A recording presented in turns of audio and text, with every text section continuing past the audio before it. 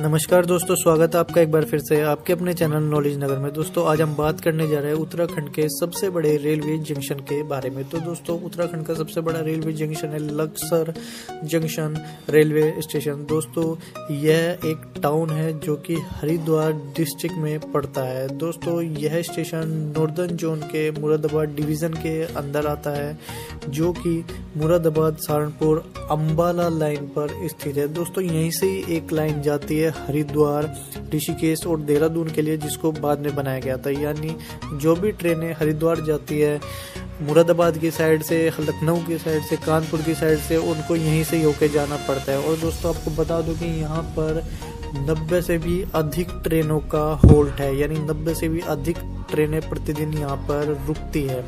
दोस्तों, यह स्टेशन समुद्र तल से 238 मीटर की ऊंचाई पर स्थित है और यहाँ का station code L R J है। प्लेटफॉर्म्स की बात करें तो यहाँ पर प्लेटफॉर्म की संख्या चार है और यहाँ पर नंबर ऑफ़ होल्टिंग ट्रेनों की संख्या चौरासी है। दोस्तों, जो यहाँ से ट्रेन ओरिजिनेट होती है, उनकी संख्या ज़ीरो है और टर्मिनेटिंग ट्रेनों की संख्या भी दोस्तों, यहाँ से प्रमुख ट्रेनें Kumbha express, Chandigarh, Lucknow, Sadbhavna express, Doon express, Mussoorie express हरियर express, Garib Rath express, link express, Ganga Sutlej express इत्यादि शामिल है। आप यहाँ से दिल्ली, मुंबई हरिद्वार, देहरादून, ऋषिकेश, लखनऊ, वाराणसी, हावड़ा, कोलकाता, चंडीगढ़, जम्मू आदि के लिए ट्रेन ले सकते हैं। दोस्तों यह स्टेशन लगभग देश के पंद्रह सोलह राज्यों से और उनके महत्वपूर्ण नगरों से सीधा कनेक्टेड है। दोस्तों, अब बात करते हैं यहाँ की हिस्ट्री के बारे में। तो यह स्टेशन ब्रिटिश गवर्नमेंट द्वारा सन 1866 में बनाया गया था और यह स्टेशन अब पूर्ण रूप से इलेक्ट्रिफाइड भी है।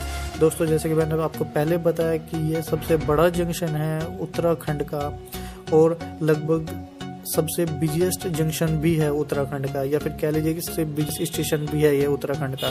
तो दोस्तों, आज की वीडियो में लक्सर रेलवे जंक्शन ही आपने जाना कि उत्तराखंड का सबसे बड़ा जंक्शन कौन सा है। मिलेंगे आपको नेक्स्ट वीडियो में एक नई इन्फॉर्मेशन के साथ, एक अच्छी इन्फॉर्मेशन के साथ। तब तक के लिए देखते रहिए हमारी वीडियो को लाइक कर दीजिएगा शेयर कर दीजिएगा और चैनल को सब्सक्राइब कर दीजिएगा।